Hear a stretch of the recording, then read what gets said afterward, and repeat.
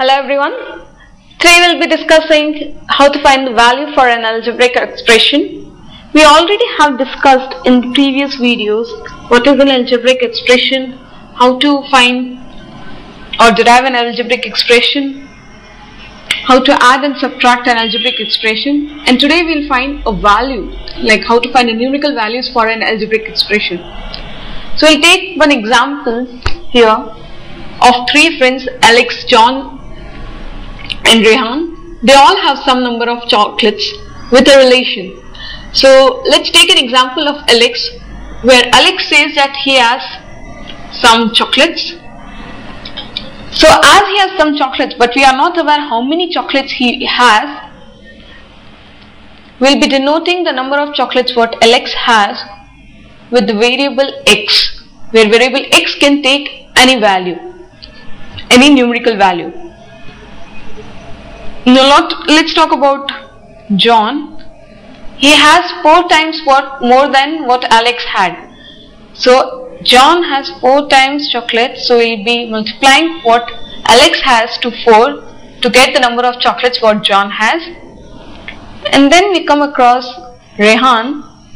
Rehan says that he has 10 more chocolates than the number of chocolates Alex and John together have. So here Rehan has what Alex has along with that what John has. In addition to that he has 10 more chocolates. So this is the number of chocolates for Rehan. Now we have derived an algebraic expression for what individually Alex, John and Rehan has, their chocolates. But we still don't have concrete numerical values for the same. So let us look at the next statement what says that all the three together have 100 chocolates. Now that means what Alex has plus what John has plus what Rehan has sums up to be 100 chocolates. So let us put there each of their algebraic expression.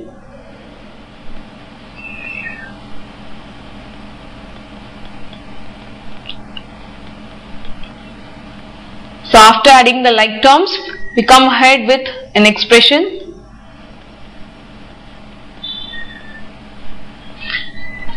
Now, we have an expression here 10x plus 10 equal to 100.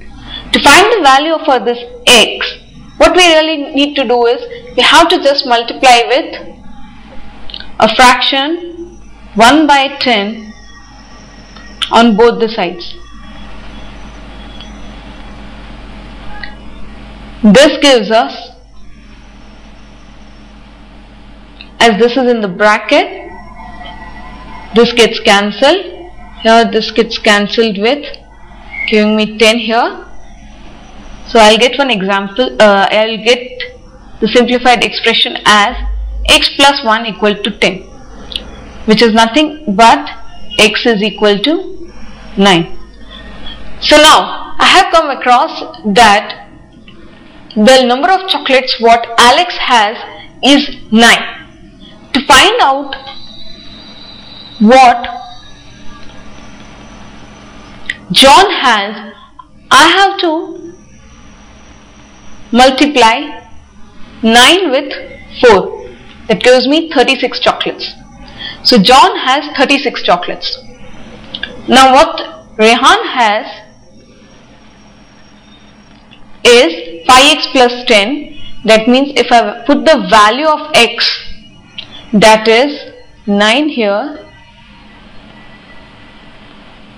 that gives me 9 5s are 45 plus 10 55 so Rehan has 55 chocolates. Now to cross check this that our sum is correct what we do is we will first add all the three chocolates. So let us add the numerical sum of Alex, John and Rehan. So the numerical sum for Alex, John and Rehan comes to 55 plus 36 plus 9. So this gives me 64 plus 36 which is 100. So I came across the same value as what I started earlier. That means I crossed, we already cross checked that whatever value of x we have found is correct because the sum of what chocolates what Alex, John and Rehan has comes to be 100 with which we originally started to find out the value of x. So I hope that this gives you an idea how to find the value of x. This is one method. Now there is a second method to find the value of an algebraic expression. In the second method there may be an algebraic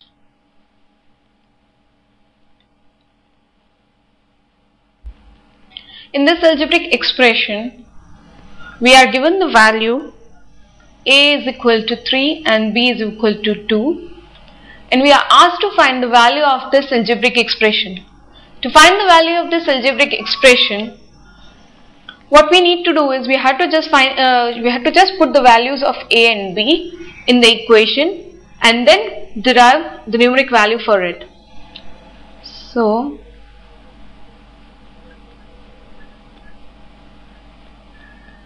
I'm just putting the value for it. So that comes around to be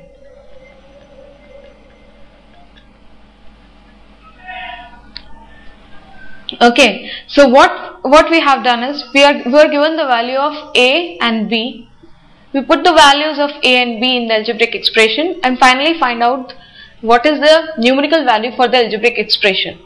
Let's take one more example.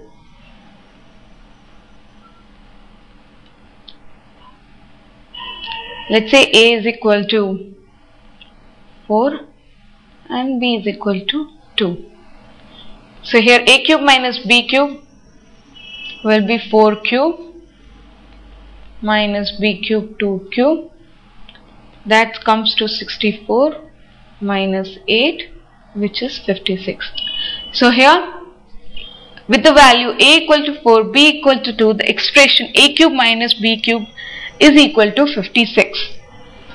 So this way there can be two methods. One can be where we are given an expression with the value of a and b, the variables present in the expression we are to ask to find the value of the expression and the another way what we had seen earlier is that we have given the expression with the total number of say the value for the total number we are coming and deriving the expression and then finding the individual values.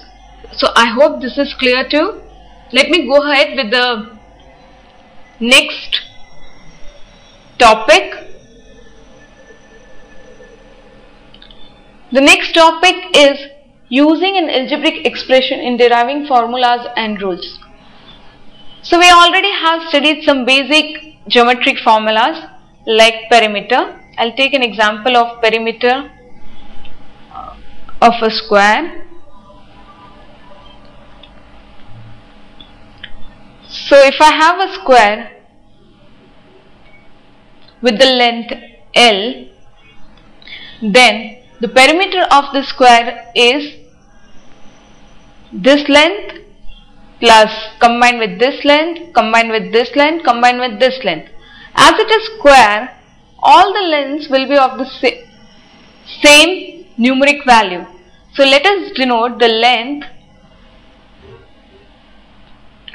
with L and as it has four sides each of them is of length L the perimeter will become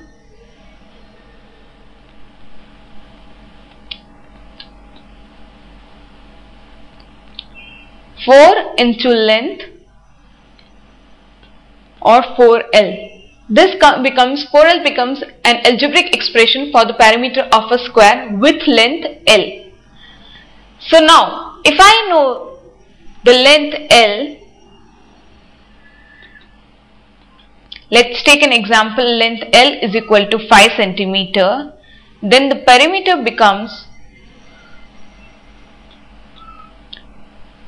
4 into 5 that is 20 centimeter.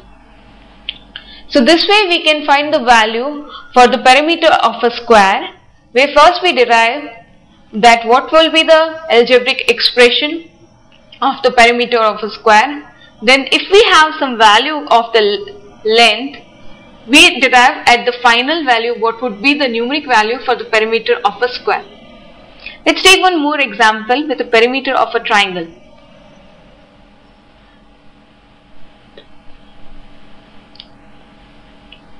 The perimeter of a triangle is, triangle has three sides. Let's say if